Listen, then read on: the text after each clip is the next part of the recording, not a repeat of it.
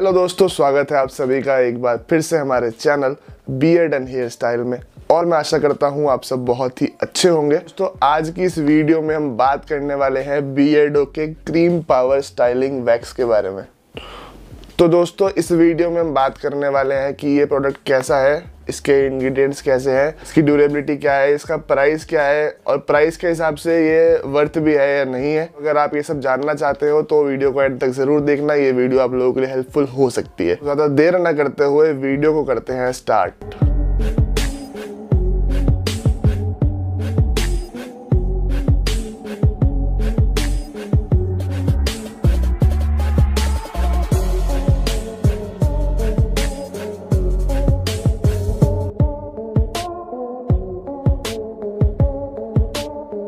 सबसे पहले बात करी जाए पैकेजिंग के बारे में तो पैकेजिंग इस प्रोडक्ट की काफ़ी ज़्यादा अच्छी है। एंड ये मेरा दूसरा पैक है। मैं पहले भी इसे एक बार यूज़ कर चुका हूँ और ये दोबारा से मेरे को दस दस बारह दिन हो चुके हैं इसे यूज़ करते हुए। तो जो मेरा अनुभव है, जो मेरा एक्सपीरियंस है, उसके बेस पर ही मैं ये रिव्यू दे रहा हूँ। तो अगर ऑनेस्टली मैं बताऊँ तो ये प्रोडक्ट ओके ओके है, कुछ ज़्यादा खास नहीं है। नॉर्मल भाषा में बोलूँ, अगर मैं तो जब हम इसको अप्लाई करते हैं तो ये हमारे बालों को एक बहुत ही नेचुरल सा होल्ड प्रोवाइड करता है। इस आर्टिफिशियल होल्ड नहीं रहेगा कि मतलब बिल्कुल ही बालों को हार्ड नहीं करेगा। नेचुरल रहते हैं बाल और होल्ड भी रखता है बालों को अच्छा लेकिन ड्यूरेबिलिटी बहुत कम है। एक डेढ़ घंटे में इसकी ड्यूरेबिलिटी खत्म हो जाती है और उसके बाद बाल दोबारा से नीचे आने लग जाते हैं। आपने स्टाइल किया होता है, वो खत्म हो जाता है और बाल दोबारा पहले ऐसे होने लग जाते हैं। तो यही चीज़ मुझे इसकी इतनी खास नहीं लगी है।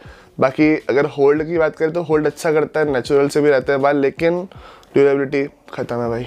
कि इसकी फ्रेगनेंस भी अच्छी है, और लेकिन इंग्रेडिएंट्स की बात करें तो केमिकल्स काफ़ी ज़्यादा यूज़ करे गए हैं। अल्कोहल वगैरह भी यूज़ किया गया उस चीज़ पर थोड़ा सा गहन चिंतन करना बनता है हम लोगों का, क्योंकि अल्कोहल केमिकल्स ये रेगुलर बेस पे करने वाली चीज़ें है नहीं, ये बालों को बहुत नुकसान देगा अगर आप रेगुलर करोगे। कभी कभी पार्टी वगैरह में चलता है। ओकेजनली यूज़ करने के लिए अच्छा प्रोडक्ट है, लेकिन डेली यूज़ के पर्पज़ का नहीं है मेरा मानना तो ये है। डेली यूज़ के लिए ये क्यों नहीं है? इसके दो तीन कारण बनते हैं, जैसे कि मैंने आपको पहले तो बताया, इसके इंग्रीडियंट्स केमिकल्स काफ़ी ज़्यादा यूज़ करे गए हैं एल्कोहल का इसमें यूज़ किया गया और दूसरी चीज़, महँगा।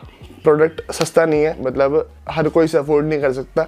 75 ग्राम्स का ये पैक है सिर्फ़ और फोर हंड्रेड रुपीज़ का एमआरपी है। वही बियर्डो का जो नॉर्मल वैक्स आता है, वो टू फिफ्टी रुपीज़ के अंदर हंड्रेड ग्राम्स का पैक आता है। उसकी क्वांटिटी भी कम है, उसके बाद ये महँगा भी है उससे। डिफरेंस पे अगर इसको जज करेंगे तो फिर काफ़ी सारे लोगों के लिए अफोर्डेबल नहीं रहेगा, काफ़ी सारे लोगों को ये महँगा भी लगेगा। चीज़ वर्थ हो तो चलती भी है महँगी, लेकिन मेरे ख्याल से ये चीज़ उतनी ज़्यादा वर्थ नहीं है। ओकेजनली बेस पर ही केवल आप इसको यूज़ करो तो बेटर है। डेली यूज़ के पर्पज़ का तो ये प्रोडक्ट है ही नहीं। तो ये था मेरा रिव्यू बियर्डो की क्रीम पावर स्टाइलिंग वैक्स का और बहुत ही सीधा साधा मेरा रिव्यू था।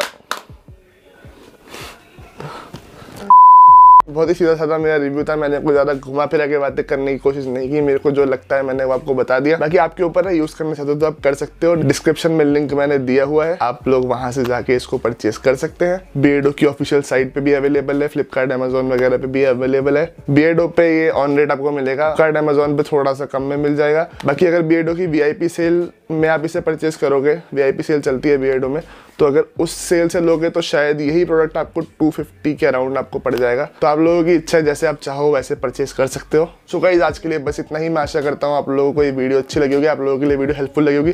तो वीडियो अच्छी लगी तो वीडियो को लाइक ज़रूर कर देना शेयर ज़रूर कर देना कमेंट करके बताओ वीडियो कैसी लगी। और इस टॉपिक पर वीडियो चाहिए, वो भी कमेंट करके आप बता सकते हो। और डिस्क्रिप्शन में लिंक है मेरे दूसरे चैनल का भी ब्लॉग चैनल का। वो भी आप चाहो तो जाके सब्सक्राइब कर सकते हो, वहाँ पर भी जुड़ सकते हो। और ये मेरे इंस्टाग्राम का हैंडल अगर आप लोग चाहो तो इंस्टाग्राम पे आके भी मुझे फॉलो कर सकते हो। बाकी जाने से पहले अगर आप लोगों ने चैनल को सब्सक्राइब नहीं कर रखा है चैनल को सब्सक्राइब ज़रूर कर लेना। मैं मिलूँगा आपसे अगली वीडियो में तब तक ले जय हिंद वंदे मातरम।